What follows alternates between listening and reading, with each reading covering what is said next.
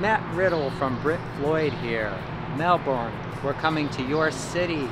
Saturday, May 27th, we'll be at the Maxwell King Center, bringing you our brand new Pink Floyd show celebrating 50 years of Dark Side of the Moon and featuring our all new laser extravaganza.